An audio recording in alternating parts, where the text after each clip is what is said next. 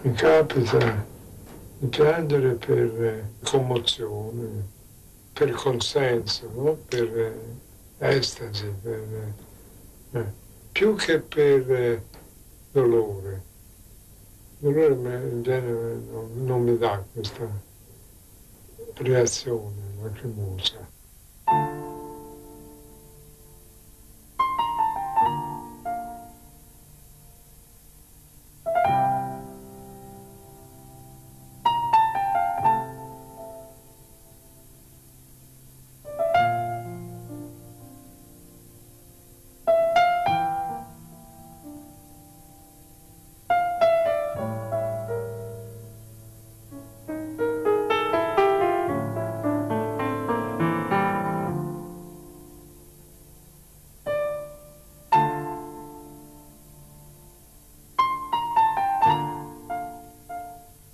Io così vorrei essere dolce nell'oscuro me stesso, un viso attinto all'ambiguo sorriso onde si celano le fanciulle finitime dell'ombra.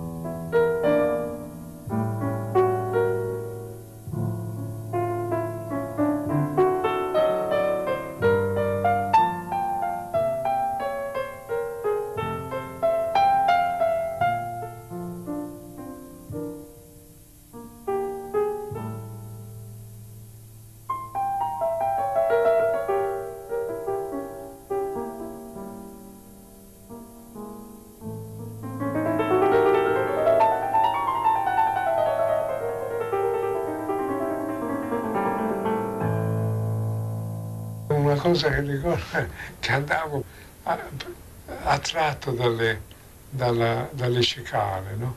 a vedere se ne prendevo qualcuno. No? E andavo con uno sgabello, il sgabello che mi portavo dal giardino per arrivare ai rami su degli ulivi.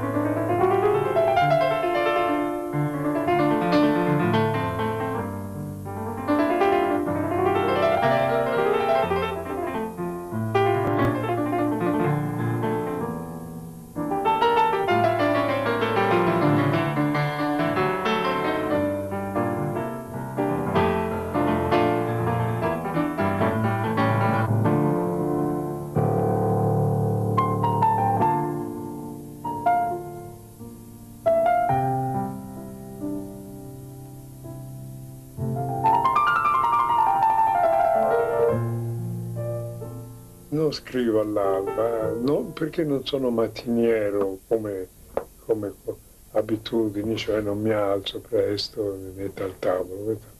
Però ecco, siccome fra la, il sonno e la vigilia vera e propria, insomma, ecco, c'è un, inter, un interstizio.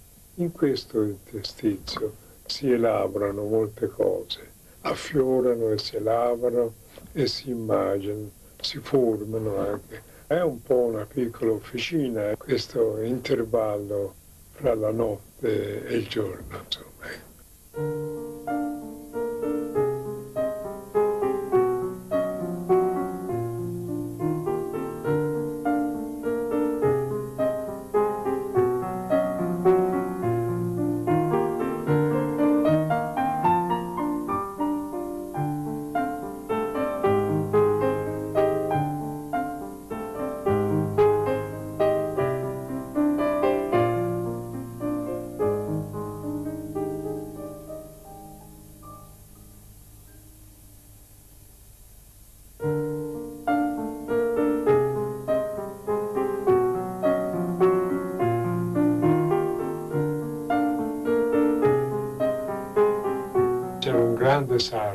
Firenze Franchi che voleva farmi un vestito perché lui aveva vestito un po' gli artisti di Firenze. E me lo feci, mi ricordo che lo inaugurai il giorno che andai a Ravenna a commemorare Dante. Da allora io mi sono mai fatto più un vestito su misura.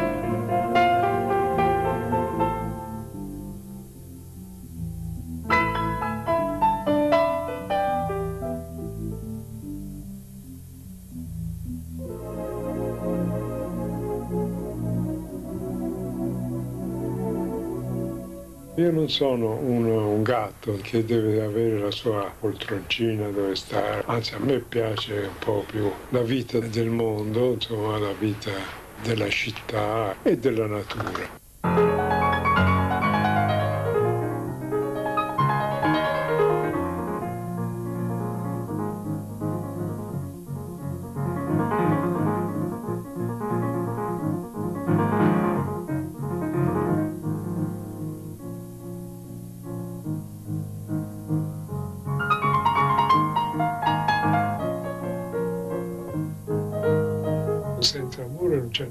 Poesia. Cioè dove c'è poesia c'è anche amore, forme. Insomma.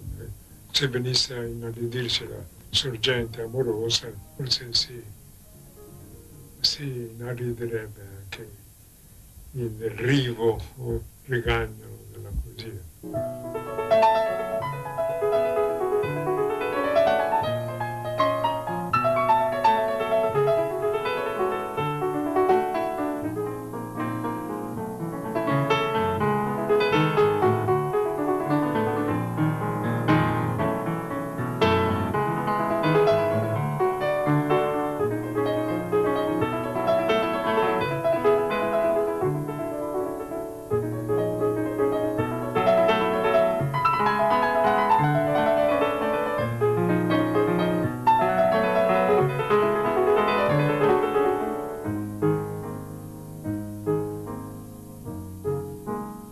Ma per esser più triste io m'attardo fra te e me, come al lembo dei giardini, il blu disanimato del tuo sguardo.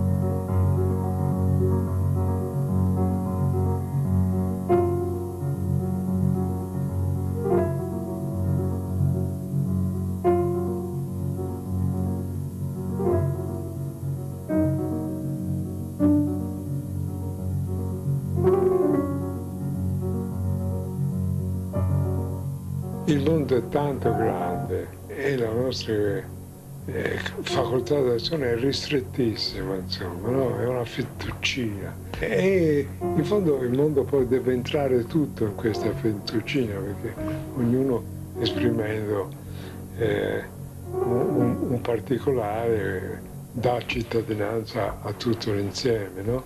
cerca di catturare l'insieme e di giustificarlo.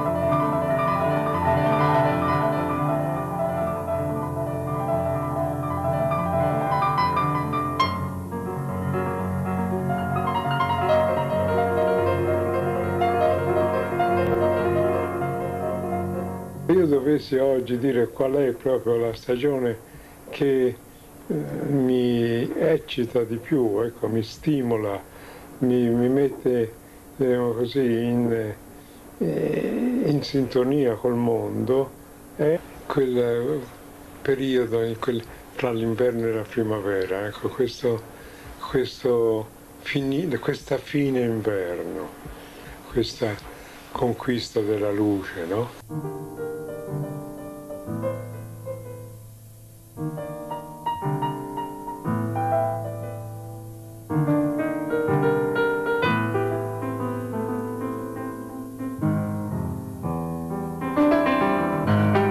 Questa terra grigia lisciata dal vento nei suoi dossi, nella sua galoppata verso il mare, nella sua ressa d'armento sotto i gioghi e i contrafforti dell'interno, vista nel capogiro dagli spalti, fila luce, fila anni luce misteriosi, fila un solo destino in molte guise, dice guardami, sono la tua stella.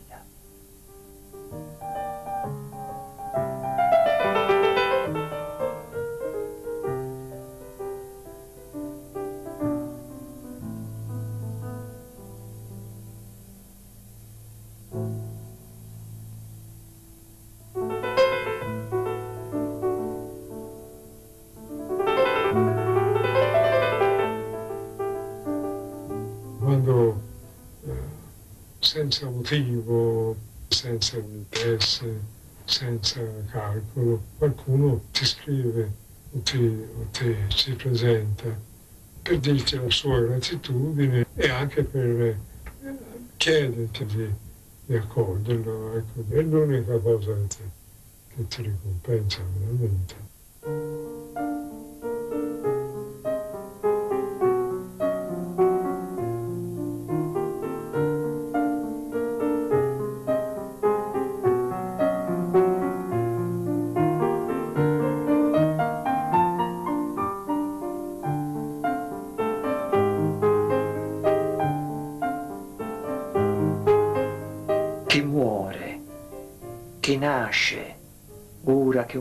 Brontolio di tuono sgretola l'altezza della notte, annunzio improvviso di primavera che rompe il sonno.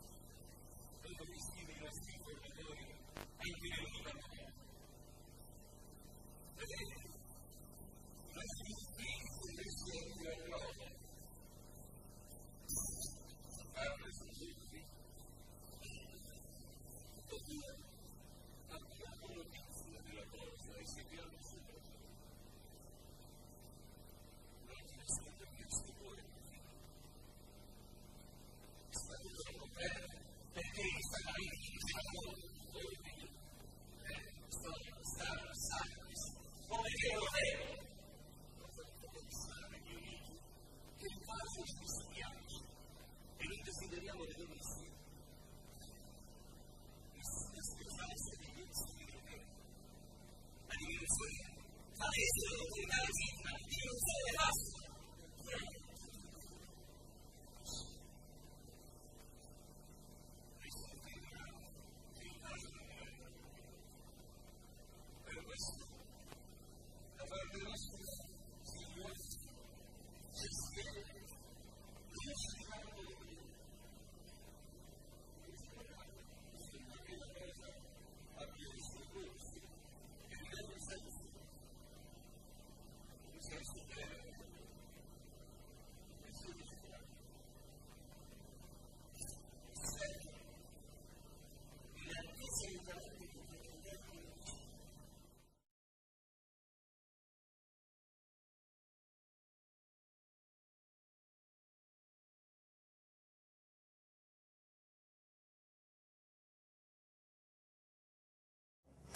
Ma questo sono molto contento di essere qui al Sacromonte di Varese, è uno dei luoghi eh, insieme al Sacromonte di Varallo e anche ad altri luoghi eh, avevo, nei quali avevo fatto molti sopralluoghi attorno al 1993-94 quando preparavo Oedipus che è stato il primo eh, dramma di Giovanni Testori che ho portato con la regia sempre di Federico Tiezzi in scena. E, e questi erano i luoghi testoriani, i testi di Edipus, della trilogia degli scarrozzanti e poi dei Trellai, di cui stasera reciterò qui l'ultimo, la Mater Strangoscias, sono scritti in una lingua molto particolare per la quale Testori si era ispirato questi, alla, al dialetto parlato in queste valli. Eh, credo che Andrea Chiodi, quindi sono molto grato a lui, credo che Andrea Chiodi abbia visto alcuni di questi spettacoli che ho fatto nel corso, nel corso, del tempo, appunto a partire dal 94 fino a due anni fa, eh, quando ho messo in scena sempre con Tiezzi i Promessi Sposi alla prova di Testori. E, e quindi che abbia pensato di invitare qui eh, questo, questa strana forma di abbinamento che ho creato molto recentemente per una occasione bergamasca qualche mese fa, eh, mettendo insieme appunto due autori apparentemente inconciliabili, molto diversi l'uno dall'altro, quali Mario Luzzi e Giovanni Testori. Ho pensato, mi sono chiesto cos'è che li unisce e ho pensato che poteva essere sufficiente il fatto che io avessi molto frequentato entrambi dal punto di vista professionale e, e poi che comunque l'argomento era un argomento sia della Via Crucis di Luzzi sia della Matre Strangoscias di Testori sono due soliloqui in cui nel primo il figlio, cioè Gesù Cristo, si rivolge al padre nel momento dei Getsemani, nel momento del, in cui si trova veramente faccia a faccia con la morte, con l'ipotesi della propria morte, e quindi gli esprime le sue paure, i suoi timori, le sue angosce, le sue solitudini. E nel secondo monologo, che è quello tratto dai tre lai di Giovanni Testori, abbiamo invece la, la madre, Maria Vergine, che si rivolge al cadavere del figlio, al cadavere di Gesù eh, deposto dalla croce. Eh, abbiamo intitolato il figlio, virgola, la madre e, e penso che questo possa, possa essere un, un, elemento che eh, giustifica l'accostamento di questi due autori.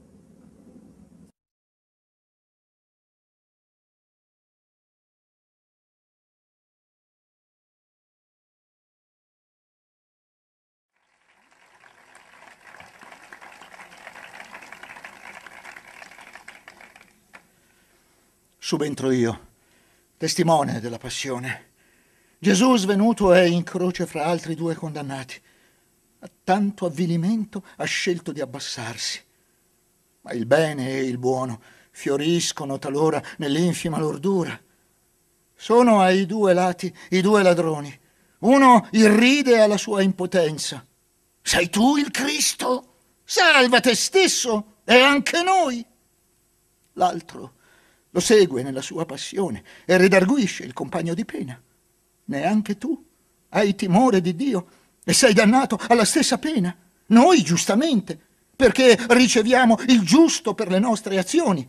Egli invece non ha fatto male alcuno. Poi dice, Gesù, ricordati di me quando entrerai nel tuo regno. E Gesù ripresi i sensi, lo rassicura. Stasera sarai con me in paradiso. Le guardie si dividono in quattro i suoi indumenti, se li giocano a sorte sopra la sua tunica. In furia la misconoscenza, s'abbuia la stortura della loro ragione. O sei tu, Signore? che vuoi perdere questi uomini? Dove sono i fedeli di Gesù? Pochi sono rimasti sulla scena. Lo sgomento e la paura hanno fatto il vuoto. Tre donne stanno presso la croce. Sono Maria, sua madre, Maria di Cleofa, Maria di Magdala. Dall'alto della croce Gesù guarda sua madre distrutta dal dolore, dice, donna, ecco tuo figlio, e indica Giovanni, e poi, voltandosi al discepolo, ecco tua madre, abbi cura di lei. Si stringono legami tra creature nel segno dell'amore di Gesù, mentre il mondo di prima va in rovina. Gesù ha sete. Gli portano alle labbra una spugna imbevuta di aceto. Perché, padre, mi hai abbandonato? È il suo ultimo grido umano. È di uomo, infatti, l'estremo pensiero del figlio dell'uomo sulla terra. Gesù è morto. Il cielo si oscura, l'aria si ottenebra, un boato immane, un sussulto spaventoso, il terremoto scuote la terra, la vita si ritrae in sé, rientra nelle sue latebre, nei suoi ricoveri. Comincia il pomeriggio più angoscioso che mai sia stato al mondo. La sera un discepolo nascosto, il ricco Giuseppe di Arimatea, si fa avanti e chiede il corpo di Gesù. Pilato lo concede. Deposto dalla croce, avvolto in un lenzuolo, è sepolto nella tomba che Giuseppe si era fatto scavare nella roccia. Un masso viene fatto rotolare subito a chiudere l'ingresso, tutto in fretta, prima che la parasceve finisca e il sabato cominci. Sabato è passato. Presto nella mattina vanno alla tomba le donne portando aromi, ma trovano il macigno rotolato via lontano. Entrano nel sepolcro, ma Gesù morto. Non c'è. Perché cercate tra i morti colui che è vivo? esclamano due angeli in vesti sfolgoranti apparsi all'improvviso. Non è qui, è risuscitato corrono ad annunciarlo gli apostoli, stupiti e increduli. Dal sepolcro la vita è deflagrata, la morte ha perduto il duro agone, comincia un'era nuova, l'uomo riconciliato nella nuova alleanza sancita dal tuo sangue, ha dinanzi a sé la via. Difficile tenersi in quel cammino. La porta del tuo regno è stretta.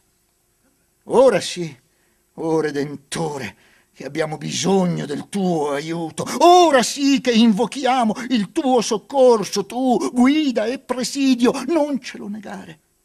L'offesa del mondo è stata immane. Infinitamente più grande è stato il tuo amore.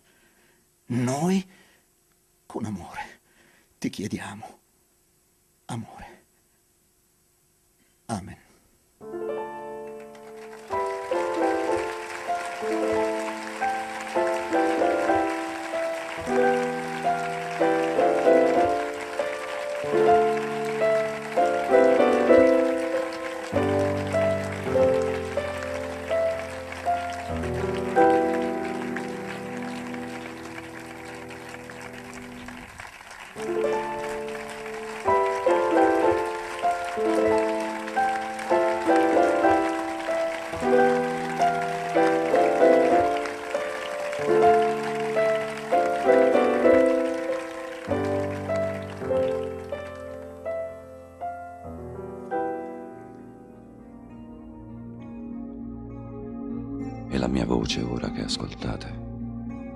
Sono Santa Maria del Fiore. Mi volle la città fervente, alta sopra di sé, sopra qualsiasi altra delle sue grandi basiliche e le sue umili parrocchie e santa reparata che custodisco in me. Grande mi concepirono i mercanti e il popolo minuto. Ebbero di me una visione grande Arnolfo, Giotto, Ser Filippo, assistettero alla mia nascita, essi propiziarono la mia crescita. Un popolo di artefici si adoperò per me nei secoli. L'opificio è ancora aperto. Non sarò mai compiuta. Si tenevano fra le mie mura nascenti i dialoghi che avete ora ascoltato. Non erano neanch'essi profani. Crescevo su me medesima, mi alzavo sopra la città per opera della pietà comune e di spicciola pazienza. Chi sono gli operai, gli artefici e gli artisti che mi hanno messa al mondo ed al suo onore? Ne avete uditi alcuni, altri innumerevoli hanno parlato e taciuto. Un popolo meschino. Intanto devo prima di tutto esprimere la mia gratitudine a questo pubblico che è qui presente e alla municipalità che ha organizzato questa serata su impulso naturalmente di amici che sono qui presenti. Eh, io mi meraviglio no, che sia abitato nel pensiero di Mettel, io stesso con questa operetta, è vero, come un dono da fare alla città di Mendrisio, sia, cioè che io sia stato un, un oggetto così importante secondo il pensiero e l'affetto di di Mettel da poter essere considerato un dono da fare a una comunità che è qui presente. Questo per me è oggetto di molta sorpresa, devo dire. E poi appunto questo commento che è stato fatto, questa, questa esposizione, lettura, in modo straordinario. Intanto, ecco, la presenza di un uomo di chiesa, scusi, il, padre Achille, è vero come vuole essere chiamato, il cardinale Silvestrini, eh, dà subito un respiro, no?